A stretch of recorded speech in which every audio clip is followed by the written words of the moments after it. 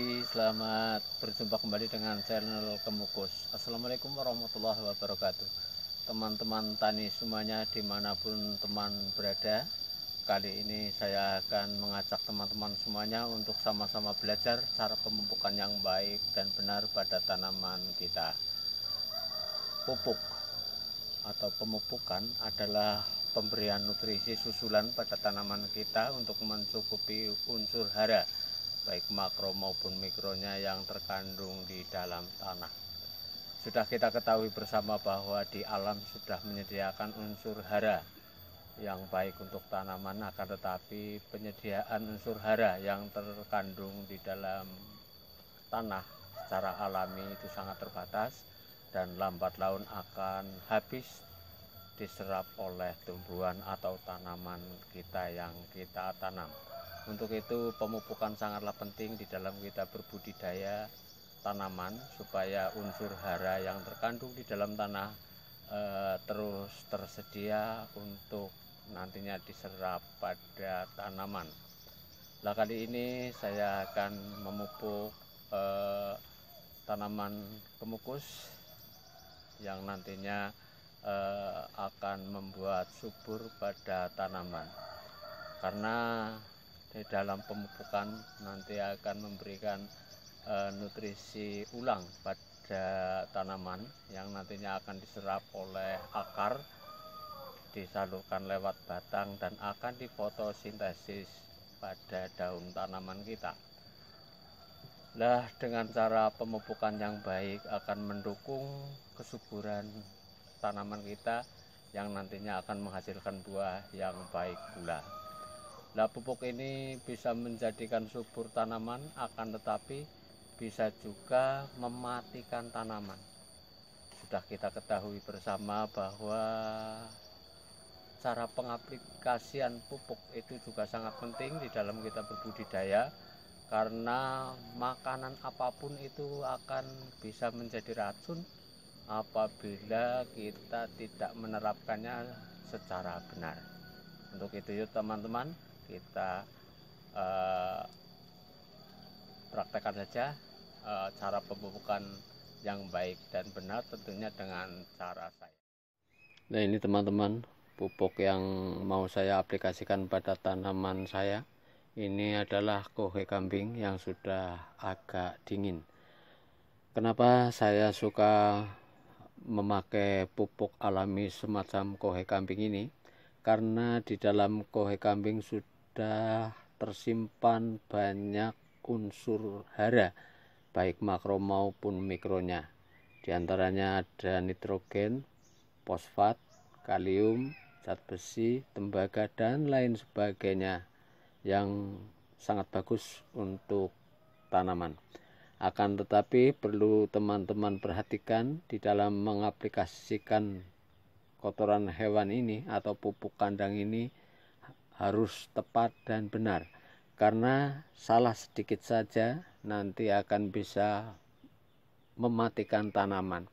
Karena sekali lagi saya katakan pupuk apa pun kalau salah mengaplikasikannya itu akan membuat kematian pada tanaman kita yang kita tanam. Langsung saja yuk kita aplikasikan pupuk kandang ini untuk tanaman kita. Nah ini teman-teman tanaman kemukus saya yang mau saya pupuk. Ini tanaman masih kecil tapi sudah mau terbentuk ranting ini gedenya baru segede paku 10 tapi di atas sudah mau keluar ranting ini tuh masih cukup subur Nah teman-teman semuanya di dalam kita memupuk tanaman yang harus sangat diperhatikan adalah eh, jarak jarak antar antara batang dan pupuk yang mau kita aplikasikan. Nah untuk tanaman yang sekecil ini ini cukup antara satu setengah jengkal. Ini batang. Ini untuk perkiraan saja cukup dengan satu setengah jengkal. Karena tanaman kemukus ini akarnya ini sangat banyak sekali sehingga kalau kita memupuk jauh itu lebih baik. Karena yang menyerap nutrisi dalam tanah sudah kita ketahui bersama bahwa yang menyerap nutrisi dalam tanah pada tumbuhan itu adalah akar serabut. Akar yang semacam ini nih ini akar kemukus yang dari sini. Ini akar serabut ini yang menyerap e, nutrisi di dalam tanah pertama-tama kita gemburkan tanahnya dulu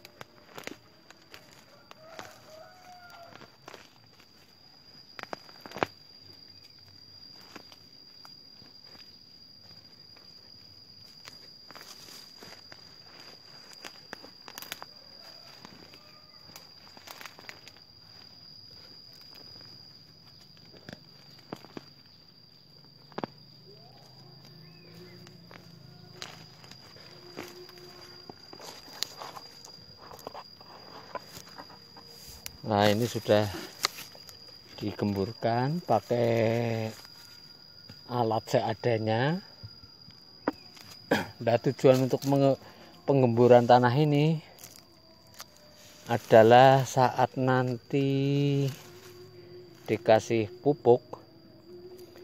Ini yang pertama pupuk tidak akan lari ke mana-mana terus yang kedua tidak merembet pada batang kemukus ini. Ini sudah gembur lalu kita masukkan pupuk kandang atau kohe kambing. Ingat kohe kambing ini jangan sampai ke batang kemukus ini ini teman-teman lihat jarak ini satu setengah jengkal dari batang. Kalau yang sudah produktif sekali lagi eh, lebih jauh. Minimal setengah meter jauhnya untuk menghindari supaya jangan terjadi eh, takut busuk pada batang atau akar. E, setelah kita kasih pupuk lalu kita e, gemburkan lagi supaya tujuannya supaya e, pupuk ini masuk ke tanah.